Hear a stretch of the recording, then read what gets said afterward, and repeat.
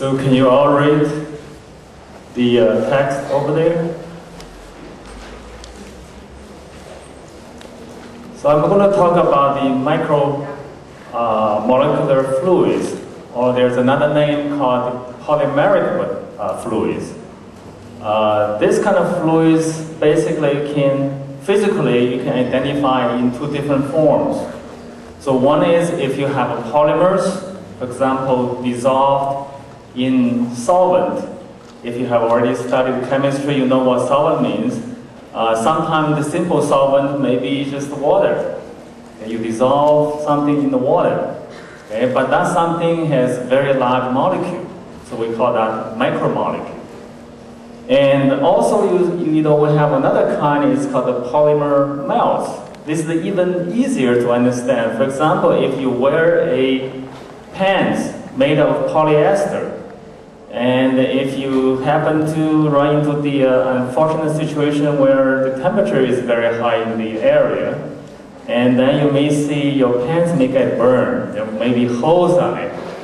And, uh, you know, during the burning process, there will be liquid created. those liquids are called melt. So melt is really the polymeric liquid uh, material at high temperature, where it becomes molten material. So it's called melt. And uh, among those two materials, there's one kind which is very interesting, where the molecules are very large, and the molecules can form some kind of order. And uh, then this kind of order we call liquid crystal order or phase. So let me ask you this question, uh, because I went to call, uh, high school uh, in the 70s. And uh, at that time when I studied physics, uh, general physics, elementary physics, I was told uh, there are uh, three phases for matter in the world. One is a gas, the other one is liquid, and then there's a solid. And let me ask you, is that true in your textbook or you, you know more phase of matters? Do you know anything besides gas, liquid, and solid? Plasma. What else? Well, liquid crystal is, we can call another phase, but this phase is not liquid nor a solid. It's a phase in between. Okay, so we will come to this in more details later on. And you're going to find out by exploring these properties, we can manufacture all kinds of uh, high performance materials. And then lately, there are a new class of materials which is completely made by human being. It's called the polymer clay nanocomposites. I guess you all heard about the word nanoscience, nanotechnology. And this is one of the very important applications of nanoscience and technology, that is you combine a polymer with a nano-sized particle, and then you can manufacture all kinds of fascinating materials. But today I'm not going to talk about this because this is uh, uh, too much for one hour, but I will focus on liquid crystal polymers.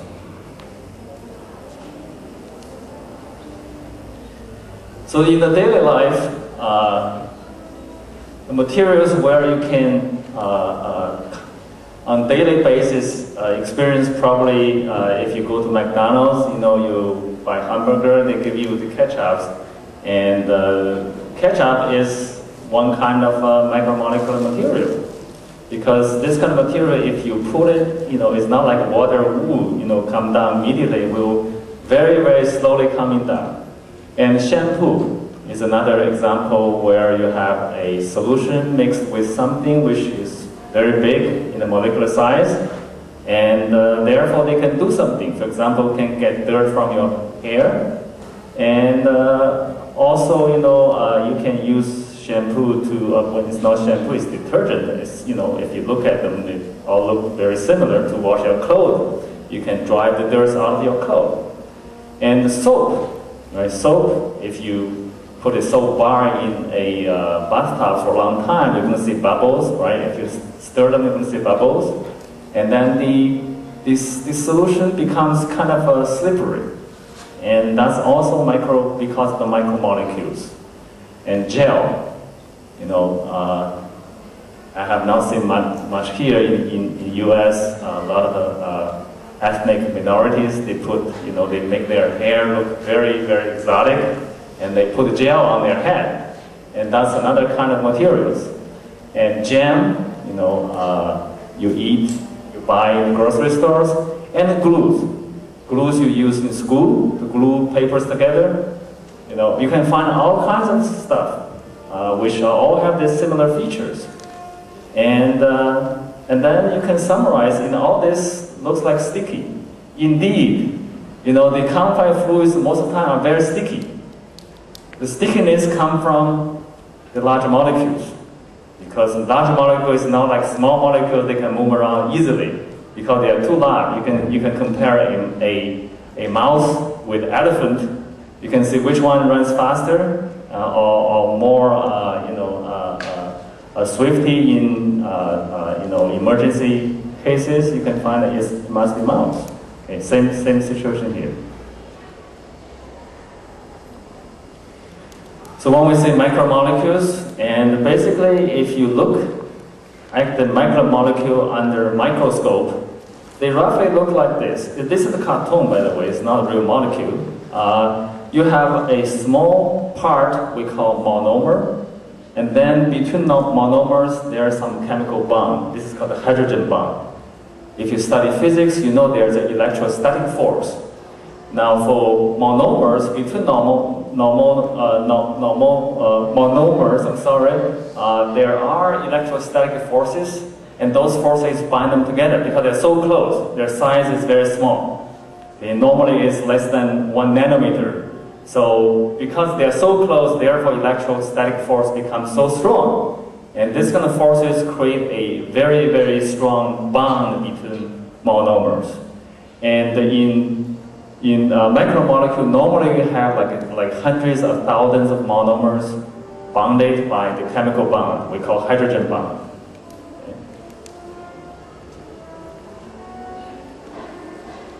So mathematically, uh, we cannot deal with that detailed structure for macromolecules. So therefore, we try to simplify. For example, we may introduce a, a thread, which is, you know, floppy or we call that flexible. Uh, or we can, we can introduce a thread with some branches. I mean, all this can happen in macromolecules.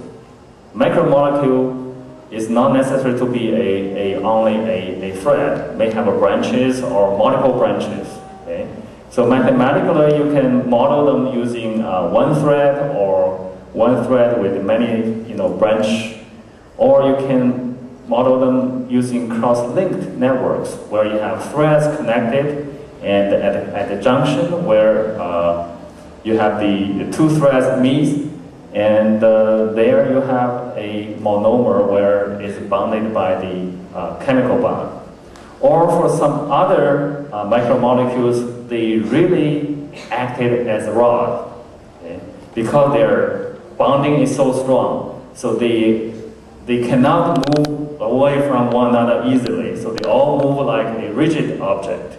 So therefore you may see like rigid rod molecules, or on the other side, uh, on, on the other side, you may have something that they are packed so compactly, therefore they acted as a disk. So we call those, you know, discotic macromolecules. And in some other cases, you may have each section which is very rigid, but then it's connected by somehow floppy, you know, spacers. So you, you, you're going to see all kinds of configurations for macromolecules or polymers. So next I want to show you some phenomena where uh, experimentally they find it very interesting. Scientifically, they find this is a really the distinctive features of these micromolecular fluids from other fluid you are familiar with, like water, air, things like that. So the first one is called the rod climbing phenomenon. So if you put glue, for example, you can do the experiment at home. Okay? You put the glue into a beaker, and then you put the uh, water into another glass, and then you put a rotating rod into each one of them, and in the glass where you have water, and you don't see anything, you see a dimple develops around the rotating rod. But in the beaker where you have the glue, you're going to see glue climb along the rod. The faster you rotate, the higher the glue climbs. You can do experiment using uh, eggs.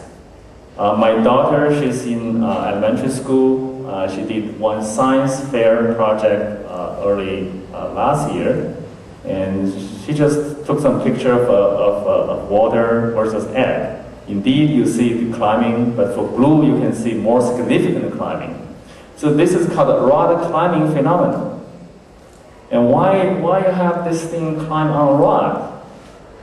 Well, think about if you try to stir a micromolecule which is very long and not that rigid, uh, not that uh, uh, uh mobile, if you try to stir them and then they, their motion to one direction is going to be faster than to the other.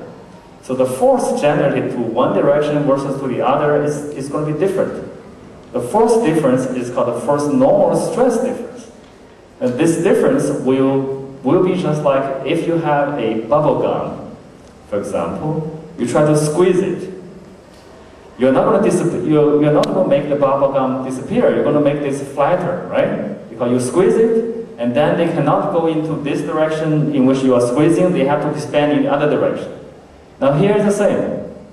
You do this, and then there will be a force trying to push them perpendicular to the rod, and therefore they have no place to go. The downward is the, the bath of the macromolecular liquid, and on the top is air. They can only move up into the air. So that's the reason why you see this uh, rod climbing phenomenon. Okay? So the key is there is a pressure or stress difference which forces this kind of material go upward. So therefore this material look, you know, behaves like a rubber. And for rubber, there's another name, it's called elastic material. Because they, they, they have this uh, property where you squeeze them, you release, somehow they go back a little bit. So they have this elastic memory. Now the second one is another uh, hallmark of this macromolecular fluids. That is, if you try to pull the liquids out of a capillary tube, capillary tube, I mean the radius must be very small because the radius is too large, you don't see this. If you put the liquid or squeeze liquid out, on the left is the water. You squeeze water out of the capillary, you don't see anything happen. Whatever radius you have, the water just come out at the same, almost at the same radius. But on the right is a micromolecular fluid, it's a polymer fluid. You see, when you squeeze them out, they expand. And sometimes they expand significantly. So for example, if your uh, capillary tube radius is one millimeter, the expansion could go to uh, 4 millimeters or even larger. Okay, so this is called extrudate swell. The polymer tend to swell. Why polymer swells? Well, because the liquid is elastic. So within the capillary has been squeezed so tightly, there's no place to, to, to expand. When they come out to the free space or the air, they can expand. So therefore they expand. Okay? So there's an elasticity in it. And the third one is called the tubeless siphon. Uh, I guess you all, all know this phenomenon if you deal with the liquid, right? If you have a uh, the fish tank, you want to change water, how do you do? You know, you use a, a floppy tube, you try to suck some water out, and then the water will flow automatically. So this is called a siphon phenomenon. Now here, you can do it without a tube. So it's called a tubeless siphon. What that means is, you first, you, of course, you don't use your mouth to suck in this case, you use some pump. Okay? So you pump the polymer liquid into the uh, capillary tube. And then you can put the tube upward far away from the surface of the polymer, and then the liquid is still going up. So you don't need, in, in the middle part, you can see there's no tube, but the liquid is still keep going up. It's a very fascinating phenomenon. You do see that in water or any other or oil, things like that, because they are not polymeric materials. So this one, I brought the sample with me. Uh, so the, this is the comparison of two gas bubbles in the liquid. On the right, on the left, your left, uh, is a bubble in water. For example, you put a, a gas bubble in water, and then they're going to rise in the water. And then you're going to see there's a, a cusp at the bottom. Okay, there's a tip at the bottom. On the right is a gas bubble in polymeric liquids. You don't see a cusp, you see a flat edge. Actually, if you see from the other direction, you see a cusp, but you see in this direction is a, a edge. And uh, this is a characteristic of polymeric liquids. So here is a easy experiment I can do, I can afford to do, that is, if you have this you turn it upside down, you see the, uh, the uh, gas bubble coming up. And then you do see that the white edge, you know, is trailing the gas bubble. Okay? Maybe you can uh, look at this. This is very easy, you know, to do. If you have any, uh, you know, full uh, shampoo bottle, and then you can turn it upside down, and then you see gas bubble rising up. You always see this phenomenon. So right now there's some research group in the world, they try to using this as a tool to measure the property of the material. So by analyzing the shape, and then they can, you know, uh, find out what property the material may have. So next I want to focus today, the focus is on liquid crystal polymer. And here are their uh, architectures. So for liquid crystal polymer, it's a little bit different. All the monomers are packed very tightly, so more or less they behave like a rod or a slightly bended rod. Of course, this is not exactly true. In reality, they have some flexibility, but uh, that flexibility normally is negligibly small. Therefore, we can you know, care less about it when we do mathematical modeling. Or there are some, uh, in, the, in the second type, you see a, a, a, a curved uh, molecule, and uh, this is called the semi-flexible molecule. This is the hardest thing to model. So far, there is not good uh, theory about it because you have this uh, semi-flexibility. So mathematical study becomes very, very complex. Or the last one uh, is a little bit easier, where you have rigid segment connected by floppy, uh, floppy spacers. So here is the question I asked you at the beginning.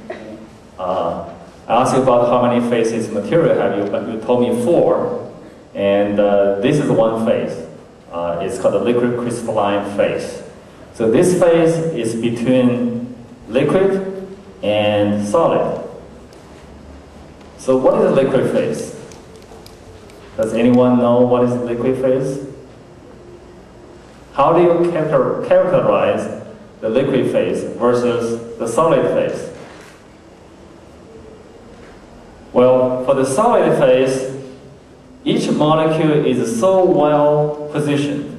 So you have what they call the full symmetry or lattice structures.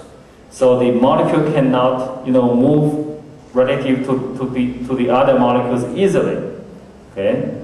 But in the liquid phase, the molecules can freely move around. So therefore, they don't have any fixed distance between any two of them. Their distance will vary in time and space. And if you have a phase between these two, then you can imagine what kind of phase they can be.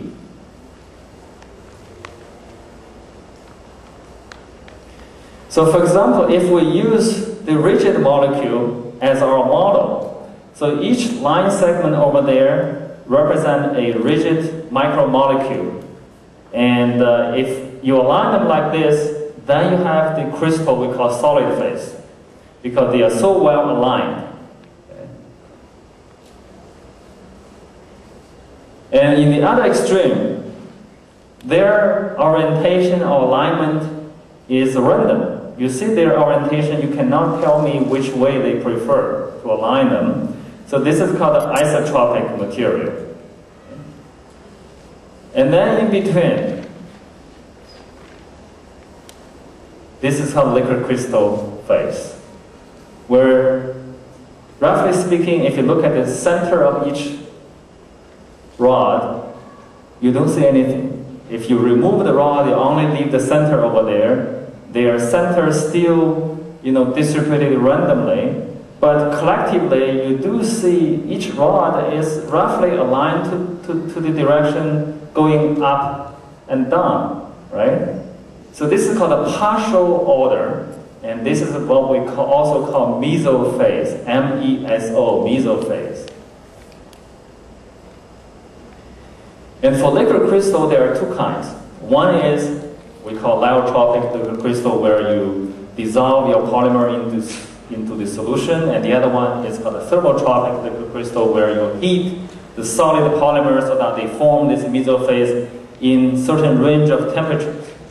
But if you heat it more, you lose this phase because everything at high temperature becomes random, completely random.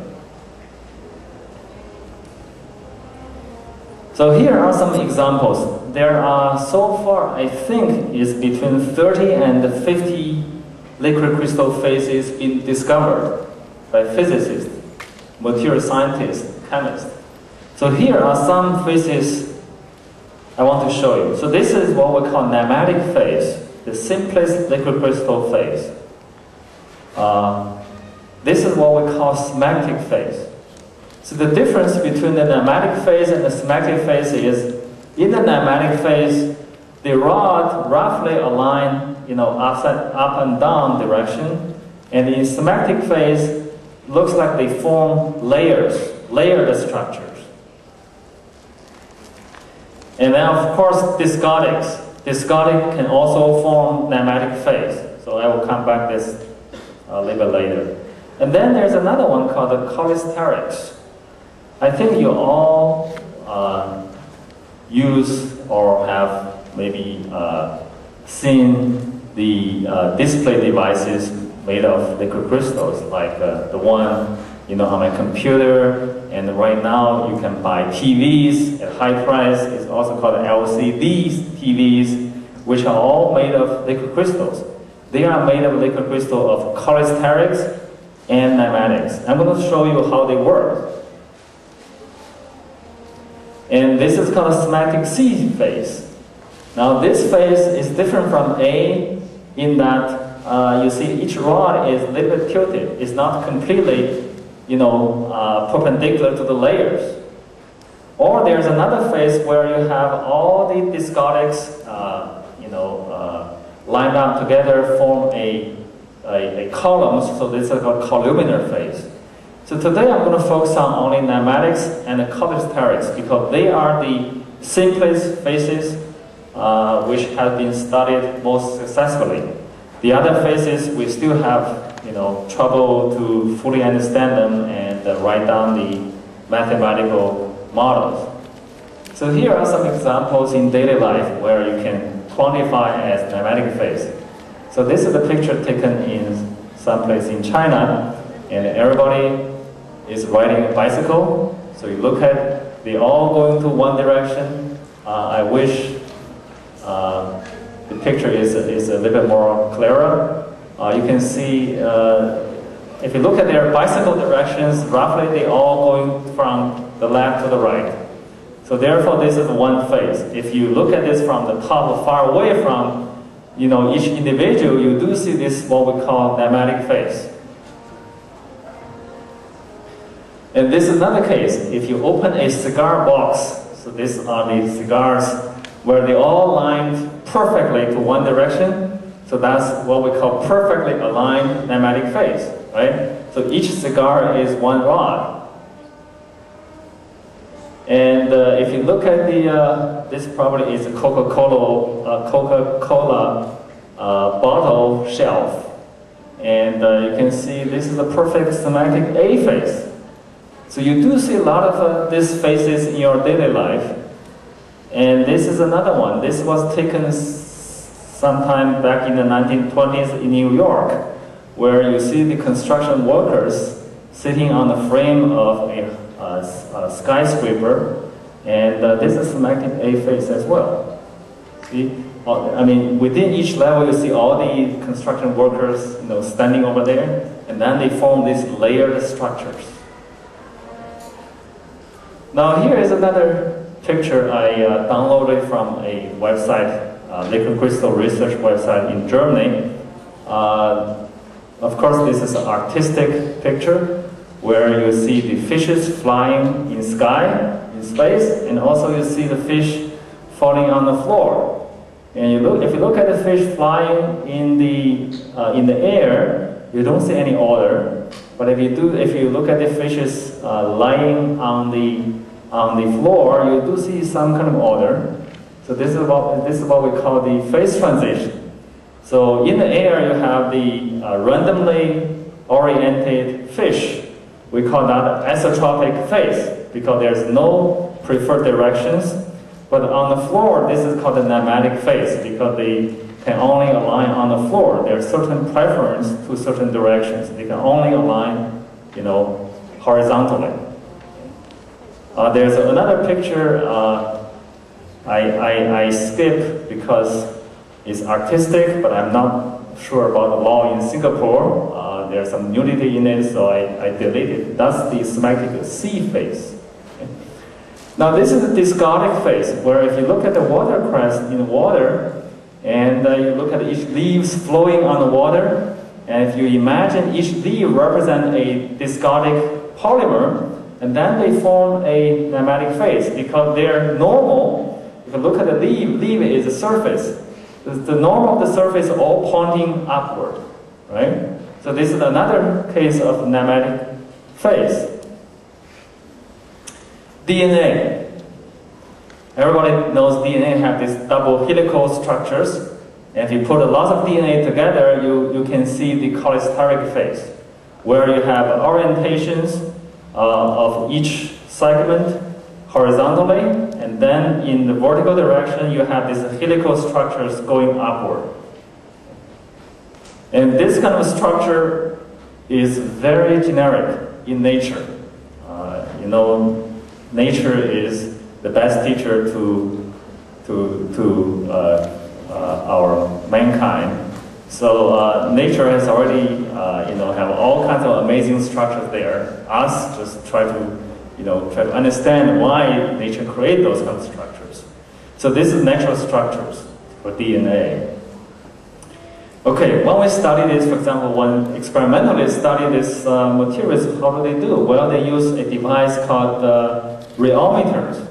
Now this device can measure many things, can measure uh, the forces, the pressures, stress, and also viscosities. So I don't want to get into detail. This I know this is kind of technical for you, but I just want to uh, want you to to uh, to aware that there are some specialized equipment which are used to study the mechanics of these materials. There are also optical devices where you can use X-ray uh, NMRI and optical, just uh, you know, uh, visible light devices where you can look through the light transmission and other microscopic structures. So I'm going to skip this. This is a little more uh, technical, but I will briefly comment. This material is really, really different. If you put, say, one blob of your glue between two glasses, you try to uh, slide your one glass, you know, uh, on top of the other, and then you're going to see this thing can slide much easier than you put regular liquid. Okay, so this is called a shear thinning behavior, which means the, the stronger you shear them, the smaller the viscosity is, so the easier the, the place will slide, you know, uh, uh between. Each other. And also there's a normal stress difference, which is non-zero. That's why you see the rod climbing phenomenon. And there are also uh, very beautiful structures form, light structures, uh, I'm going to show you later. If you uh, put this material under certain temperature, after a while you'll see beautiful, beautiful patterns form. And then you can just visibly see those patterns. So therefore, there are some artistic products are made of liquid crystal uh, structures. And of course, there's phase transition. This is very important for physicists. So the applications, basically that's the uh, main part of this talk, uh, because I'm not quite sure how much mathematics I can, uh, I can tell you today. Uh, so I try to just uh, uh, bring your attention to the application side of this material and then mention very briefly about modeling effort in the end. liquid crystal has many, many applications. The most easily understood application is the liquid crystal display devices, we call LCD device. And uh, nowadays, uh, LCD devices has jumped from uh, uh display uh, monitor of the laptop computers to desktops now uh, go to large screen TVs. But I guess if you go to electronic stores, you don't see very large screen LCD TV yet. That's because it's not easy to manufacture large size materials without, you know, over, without the, uh, to uh, overcome the difficulties. For example, if it's too large, if you view from different angles, you're going to see distortions. Uh, that's one thing you don't want to see. And uh, there are many other applications I'm going to point out today which you don't see in your daily life uh, is the high performance material. And this is the most important application of liquid crystal polymers. So this is liquid crystal displays. Uh, you see this everywhere. You see this on the road, you see this you know, at home, and also you see this on your uh, wrist, because I see a lot of people wear this uh, you know, uh, electronic type of watch, and you see the digital uh, uh, uh, showing of the numbers, those are all due to this effect. It's, it's called a liquid crystal display. And how this thing works.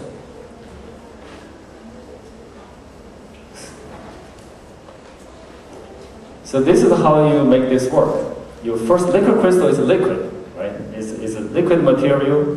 So you, you, in, you inject liquid material into a, a cell. And then the bonding part of the cell are glass layers. Of course, it's not the real glass. Sometimes it's really composite material. And then you put the uh, polarizer. You put the it's kind of slow. Uh, so you, you coat you coat the glass in the interior by conductors very thin. And then you put the polarizers on top and on the bottom. Okay. But on the top and the bottom is trans is perpendicular. The polarizers are, are perpendicular to, to, to, each other. So we call this uh, crossed polarizers. So that means if you have a light coming into the top, it will not be able to trans, uh, uh, uh transmit through the second one because they are they are perpendicular to each other. Okay? So you can see the arrows pointing to the you know, polarization of light in one direction, and on the bottom is in the uh, orthogonal directions. So this is how this device is, uh, is made of. But then I want to show you how it works. So it works like this.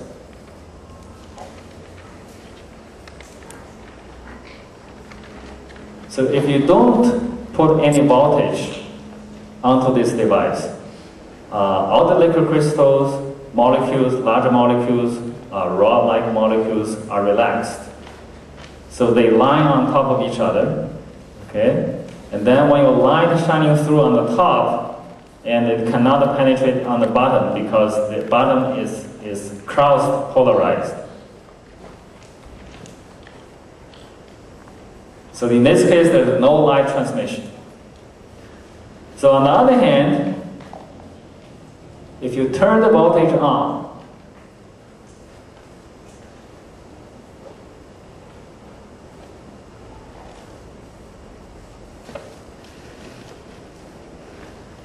Okay, if you turn the voltage on, and uh, you're going to align the molecule on the top in one direction, and on the bottom in the uh, cross direction, or we call perpendicular direction, and then you have a twist of your orientation of the molecules.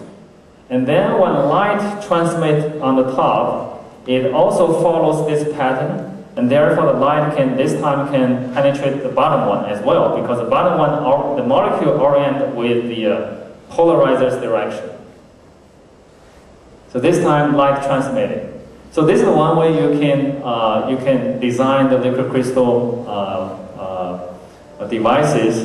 And of course you need a light source. You need to have a light shining through so that they can transmit through this.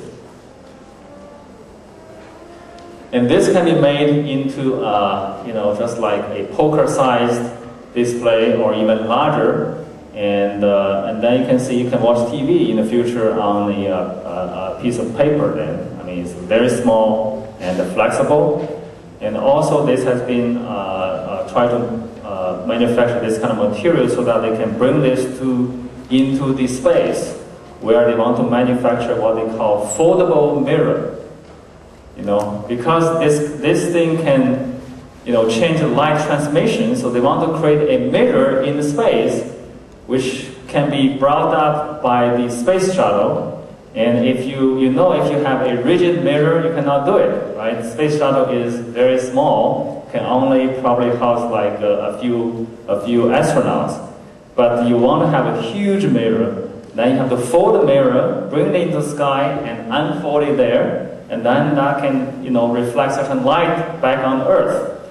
So this is the, in, in the uh, NASA's mission, uh, I, I, I, I, heard about this many years ago, and right now they can, they can already uh, manufacture uh, this kind of foldable mirrors with uh, a, relatively small size. You know, for example, like a several uh, meter by meter size. That's not a problem. But even larger ones, still they have a problem because in the space, if you unfold it, it's, it's very difficult. Okay, you may destroy the material in that case.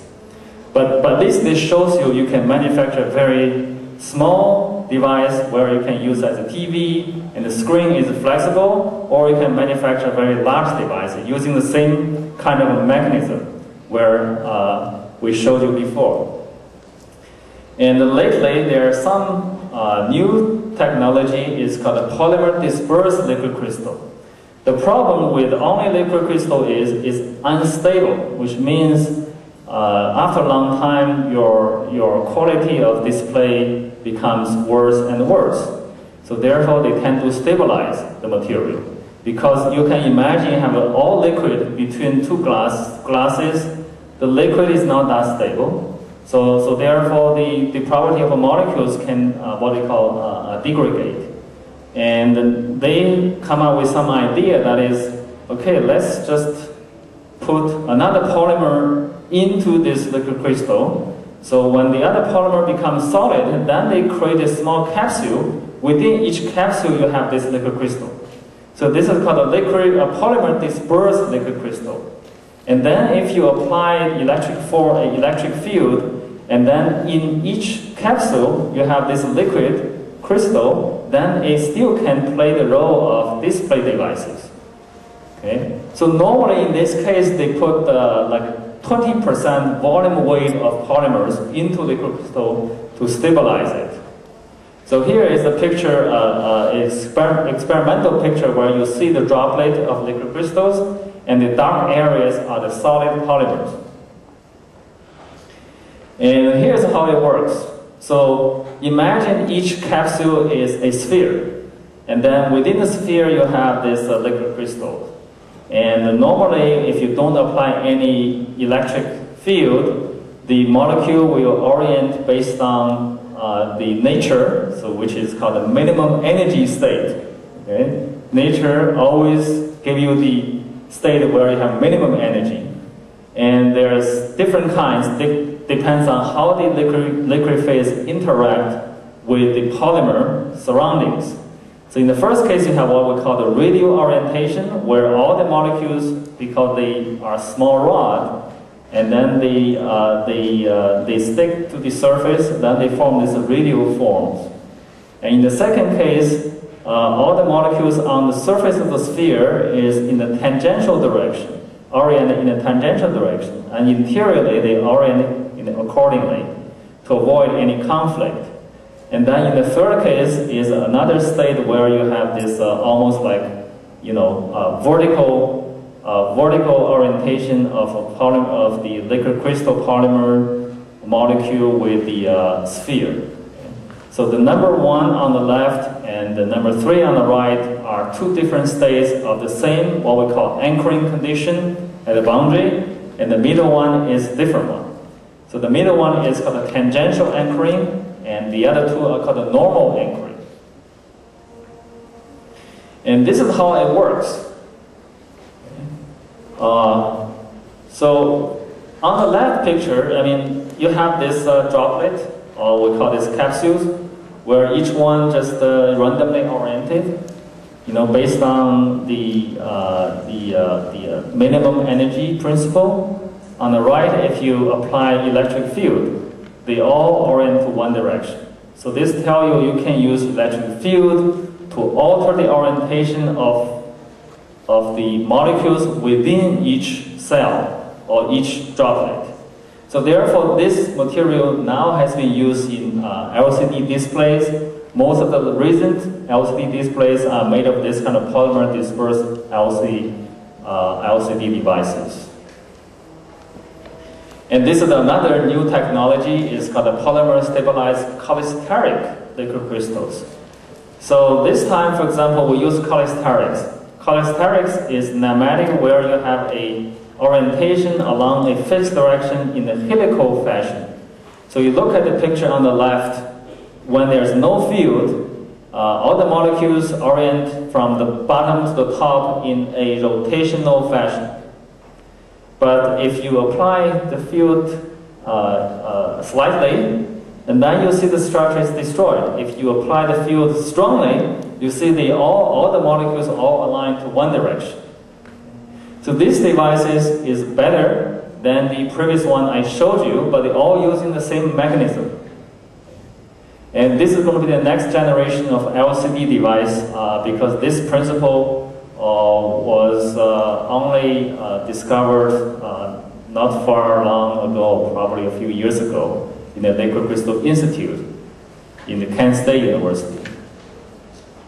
And here is a, a, uh, a, a visual picture of what we call the defect structures.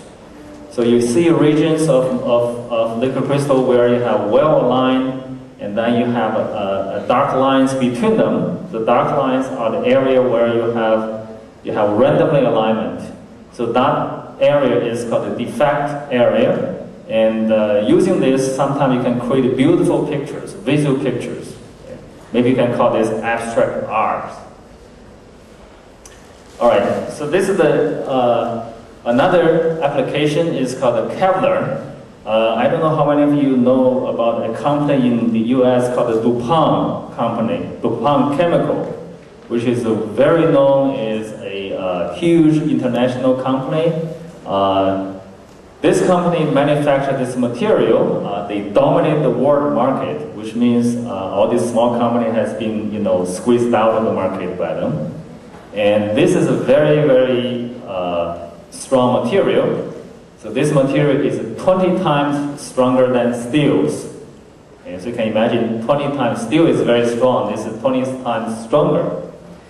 So this material has been used in uh, for example, here I showed you something, uh, police forces in the US, because US is not like Singapore, uh, there's lots of crimes. So fighting crime is a very important job for the uh, uh, police force there. And they wear, for example, their uniform, their vest, they wear vest in, inside. because otherwise there may be uh, criminals stab them or you know shoot at them. And also you can see the bars in the uh, prison are made of Kevlars because they're so strong they cannot even cut it. And here basically tell you what kind of uh, you know criminal weapons which can be protected using Kevlar product. The knives, uh, handguns, no problem. If you use those devices, uh, you won't hurt the uh, uh, police officer because they wear the vest so strong, your knife will not penetrate. Your bullet from handgun will not be able to penetrate either. However, if you say I bring a cannon, of course cannon can still kill. And uh, in the middle, in the uh, Air Force, uh, this material has been used for manufacturing the aircraft parts. The reason is they are so strong, but they are not, not heavy like metal, like steel. And you can see most application in the military is on the soldier itself.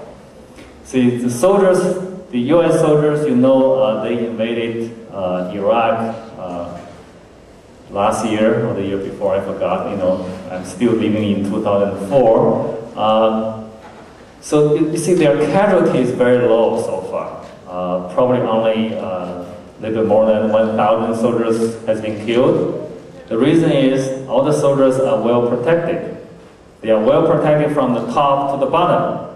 From the top, from the helmet is made of Kevlar.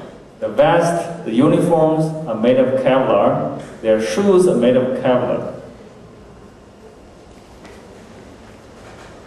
So this is their vest. It's called the interceptor vest. Uh, you can also put some protective layers in it. So you see lots of pocket. You know, if you really want to, you can go to some military uh, uh, shops. You know, USA there are military what's called disposal shops where you can buy all kinds of military devices. You know, from uniform to uh, you know uh, even use the jeeps, whatever you, you name it, and you can you can see this is very safe. Okay, so police and especially soldiers all wear this on the battlefield. You can see Iraq is very hot. If you look at the, the uh, television, all the soldiers wear you know, very heavy you know, protecting gears. So that's because in, inside they all wear this kind of a vest. Helmet, as I said, this is a, much better than the uh, uh, uh steel pot. They call steel pot. Previously, if you look at the, the soldiers that wear very heavy steel pot helmet. Now they have been replaced by lightweight Kevlar helmet. And also inside their uh, uh, vehicle, this personnel carrier, inside they put a layer of, they call uh, small layers, you know, it's it's like a liner to the vehicle uh, made of Kevlar. Because if you shoot at the vehicle, you may be able to penetrate the metal exteriorly, but you're going to have another layer of resistance which is made of Kevlar. Okay? So you see this cabinet over here, uh, that's made of Kevlar. And here's a list of applications uh, in the military, uh, from explosive ordnance disposal suits, you know, where if you see there's a bomb alert, alert and then you bring in special force to, to disarm the, the, the bomb, and then the, the, the guys all, all wear very bulky suit and that are made of Kevlar. And also BASIC, that, that means you know everything soldiers wear, and uh, all lots of parts are made of Kevlar. The shoes they wear made of Kevlar, okay, and gloves made of Kevlar. You can see you have not seen people wear a steel glove, right? I mean, steel is so rigid you cannot bend your fingers, but the Kevlar is flexible. And here is a picture of the underwater uh, device where the US Navy using Kevlar cable to stabilize some sonar devices uh, you know, in the Pacific. Uh, normally this, these cables are like, as, as I said here, 20 times stronger than steel. And also there's no rusty issues here. Because steel you're going to get rust, you have salt water and then steel is going to get rusted. But for Kevlar, there's no uh, rusty issue. So it's, it's resistant to this kind of uh, uh, problem. And sails. So this kind of sails you can you know sail at speed like 40 miles per hour. That's roughly about 100 kilometers per hour uh, without uh, you know bending much or breaking them. So it's very strong. So this has been developed in the 60s, but even so far, it's not completely understood why this thing is so strong. And if we really can understand this, probably we can manufacture even stronger material. So that's the reason why we need to have theoretical studies. You may say, okay, if we have already manufactured, why we, we need to study? The reason is you need to understand. And then beyond that, you want to you want to push the envelope to see, based on the same principle, can we make even better materials? So here's a little cartoon which tell you why Kevlar works. So imagine Kevlar molecules, which is liquid crystal molecules, are made up of monomers, and then you know the links between monomers are the chemical bond we call uh, the hydrogen bond. So for Kevlar, the the molecular composition is very special. So they have this structure, they have 14 carbon atoms, have two nitrogen atoms, two oxygen atoms, and 10 hydrogen atoms. So they, they bond together in that form, form the monomer. Okay? And when you have a uh, monomer, and then you say, okay, uh, how those uh, uh, molecules align. So for example, if you put molecules like this, you know, randomly, or you put molecules like that, uh, almost aligned to one direction, I guess it's easy to see the second picture probably give you better strength if you put them all together, right? So this means you have certain alignment.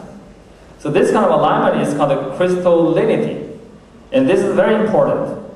If you don't have this crystallinity and you have randomly aligned molecule, even though your molecule is very strong, but when you put them together collectively, they are not strong enough. Okay? But on the other hand, if everything aligns to the same direction, each one is strong, collectively they are even stronger. So here are some, some examples where you, you see the comparison between Kevlar's and others. So on the top is the Kevlar monomer structure. And uh, this is like uh, uh, breaking strength is, is between 20 and 30 uh, uh, grams per denier. It doesn't, um, I don't think you should bother with the, uh, the units. Just say the, the larger the number is on the right column, the stronger the, the, the, the monomer is. And then the second one is rayon, which is one man-made material. some of you probably wear clothes made of that. And also you see nylon. You know nylon, you know, make uh, those uh, clothes and especially pantyhouses, things like that. And then there's a, a, a fourth one, uh, Nomex. So you can see, compare these four, they have different uh, molecular structures in, within each monomer, and the Kevlar is the strongest. It is strongest is because Kevlar molecule, uh, in terms of monomer, is consists of these two parts. The first part is called the uh, aromatic group, and the other one is called the amide group. If you combine these two together, you, you, you normally create very strong uh, bindings between them. So here is the comparison between water and uh, Kevlar. This is a smaller picture where you have one oxygen, two hydrogen, that's water.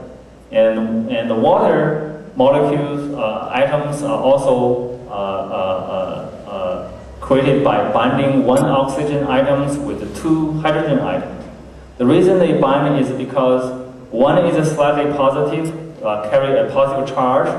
The other one is slightly carrying the negative charge, right? So when they, when you have a positive charge and meet a negative charge, they tend to attract to each other. So this is an electrostatic force.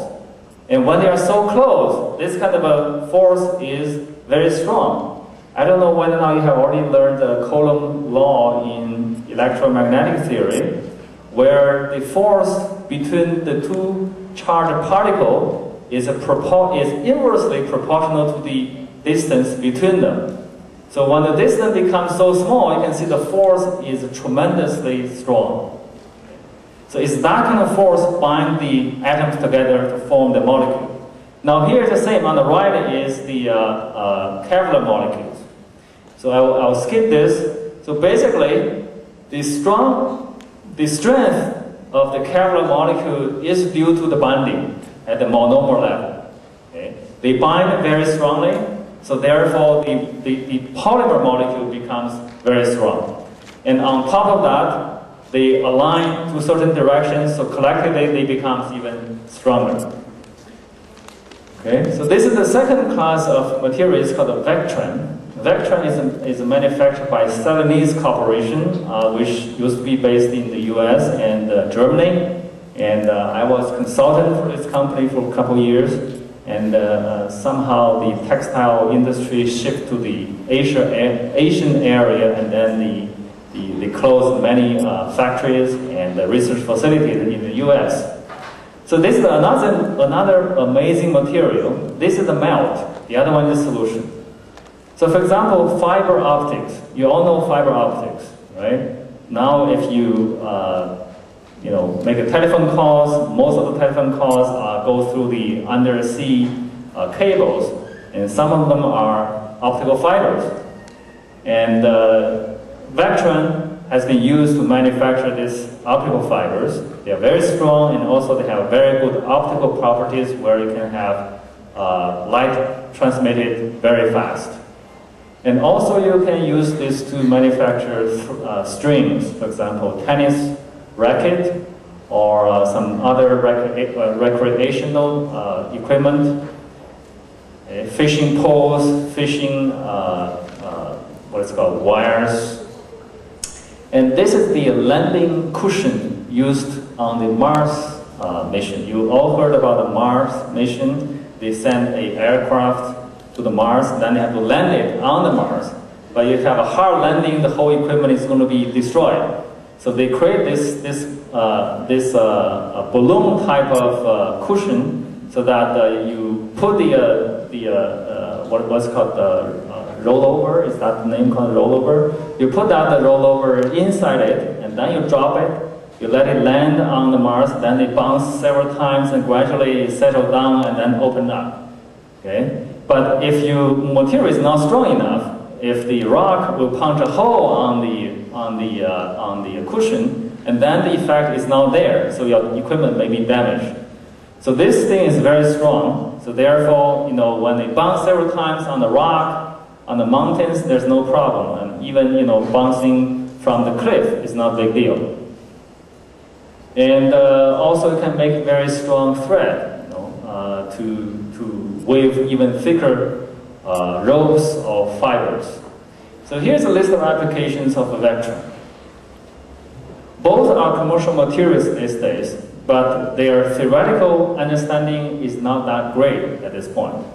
So this is another uh, uh, fashionable, you know, uh, amenity probably you can enjoy in the near future. You know, your, your windows are switchable. Uh, so that means, you know, if you, if you hit one button, your window is completely transparent. If you switch it, you know, uh, on, it's completely opaque. So this is this is because you put the liquid crystal inside the window. So therefore, you know, when the electricity is off, you have transparent window, and then when it's on, you have a completely opaque windows. Uh, I don't know, maybe this thing can be uh, very appealing to someone. Uh, instead of, uh, you know, put a curtain inside your house, now you don't need curtain anymore. Okay? It's all uh, built into your window. So here's a beautiful picture of defect. So if you put a liquid crystal material and then you drop a few debris in, inside it, then you're going to see the, the formation of a defect because the debris is going to destroy the orientation at that point, and then there will be a very beautiful pattern formed due to the orientation change. So here comes the math part.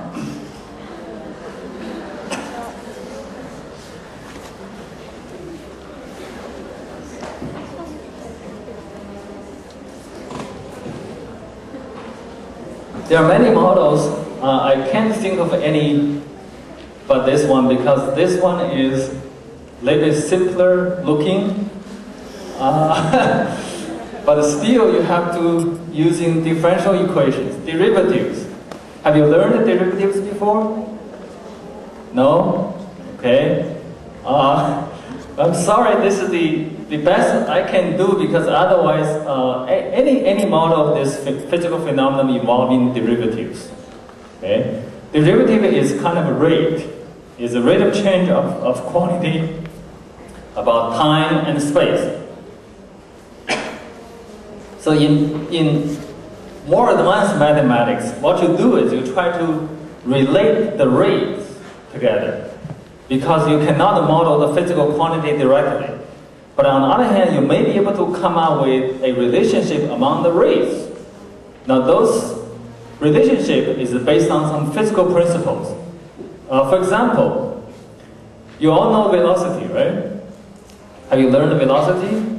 Velocity is the uh, displacement traveled divided by time, right? But in reality, you know you cannot measure displacement. It's not easy to measure displacement. For example, you want to measure the displacement from here to another country, you have to, you know, travel very far. But you can always measure velocity very easily. You can let your car or whatever, say, uh, start it at one point, then you move in very short time, and then you can always measure this displacement. And then you divide it by time traveled you know, from,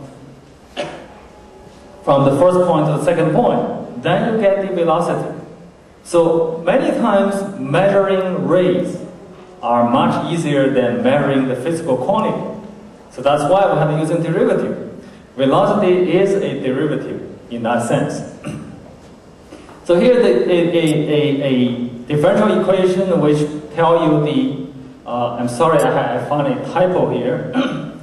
The first one is supposed to be, uh, uh, this is ddt, is time, is the time rate of change of the function f is equal to spatial change of uh, function f about the space m.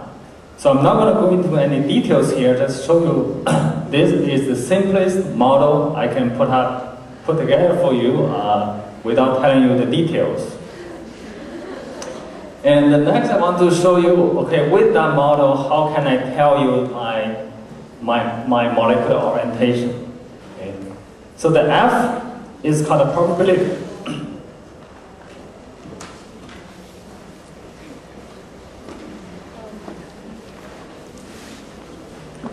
F is a variable, tell you, at the time t, in the m direction, what's the probability, what's the possibility of a molecule will be in that direction. So we form this, what we call the tensor uh, product. Uh, it doesn't matter, I mean, for you, you don't need to worry about the terminology. And then you only need to know that this quantity can be geometrically be visualized as ellipsoid. I hope you all know what ellipsoid is. Okay? And uh, for ellipsoid, you have three axes. Do you know ellipsoid? ellipse. How about ellipse? Do you know ellipse? Okay, let's just talk about the two-dimensional object, ellipse. So the one I, I, uh, I plotted there is ellipse, actually.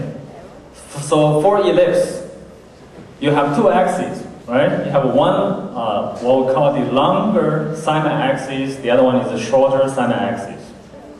So if you can distinguish between the longer one from the shorter one, then you, we, we see that the orientation is roughly along the longer one.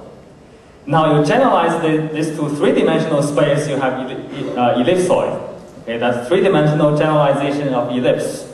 Okay? So here we're going to doing the, the ellipse. So if we do everything in two-dimensional space, of course that's not true, right? In our real world, we live in three-dimensional space. So everything has to be modeled at 3D, but if you don't know ellipsoid, we can imagine this all 2D. So we live in the 2D world. Okay? Everything, orientation is in two-dimensional space. And then we're, going to model this kind of experiment. you put the liquid crystal between two uh, transparent glass, and then you slide one glass relative to the other. So this is called a shear flow experiment. So this is one of the fundamental experiments.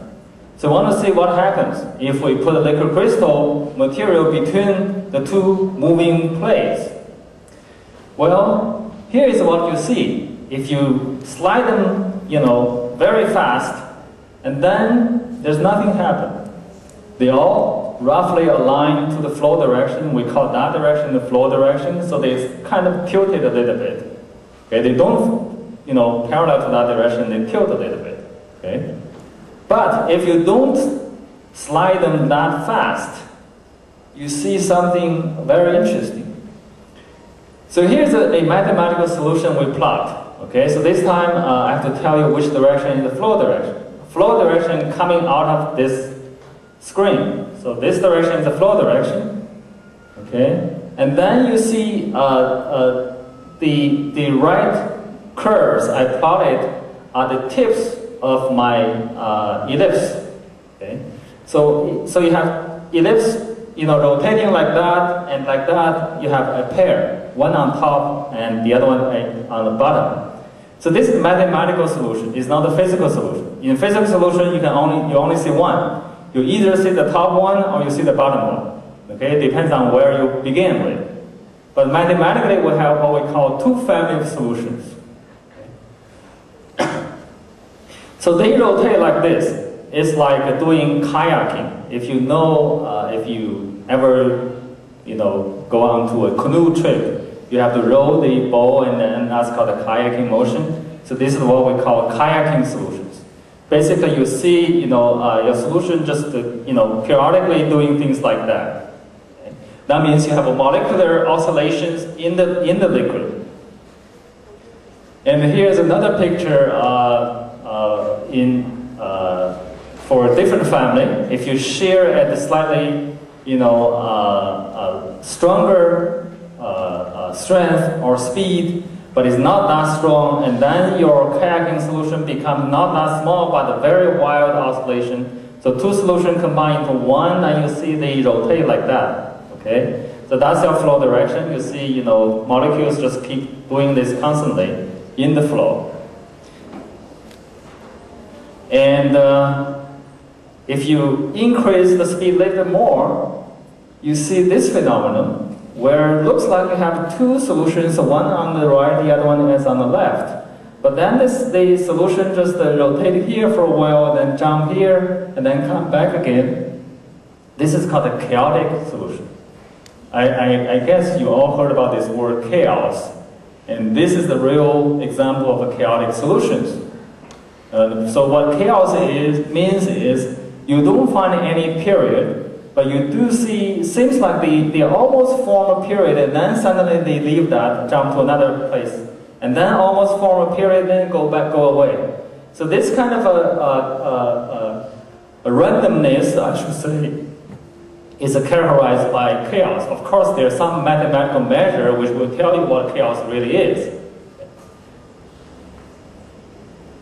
So here is another cartoon where you see uh, how the molecules rotate in the flows. You just look at the, the picture on the right hand side where they have rotations and come out and then almost form a almost vertical and then suddenly they collapse and then rotate again. So that's, that's the math I want to talk to you, but of course I know this may be a little bit over your head, uh, but if that's the case, uh, please excuse me because that's the that's the model we, we, we can come up with for this. We don't have any model which is simpler without using differential equations at this point. So let me just briefly uh, summarize what I have been uh, uh talking about in the past uh, uh 60 minutes.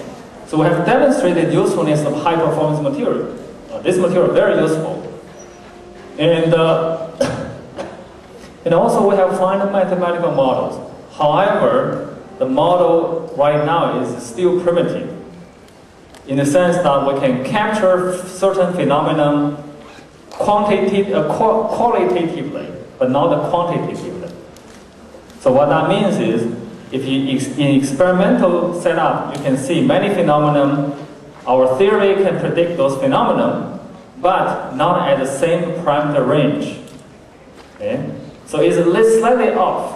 So therefore, we need to come up with better mathematical theory, mathematical models to really say, okay, give me your experimental data, I put into my mathematical model, and I can predict exactly the same thing. But that's not the case at this point.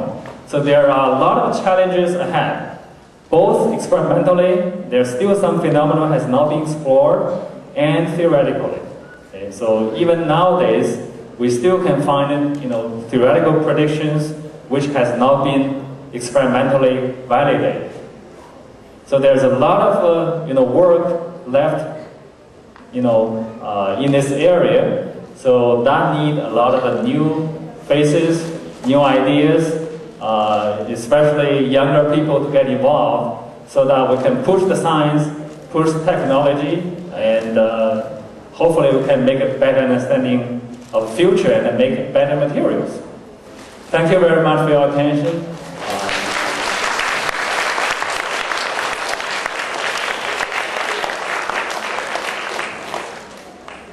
Do you have any questions?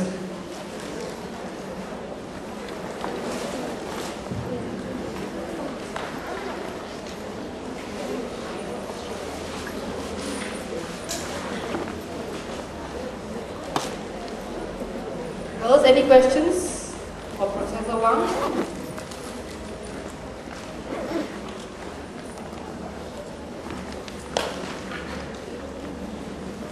Yes. Yes. I guess maybe it's too uh, too overwhelming to you. Uh, I guess I should give you some tutorial before we get into these details. Girls, I know that this is a very eye, uh, really eye enrich, uh, opening talk for us, right? and also an enriching talk for us. So, please join me to thank Professor Wang once again.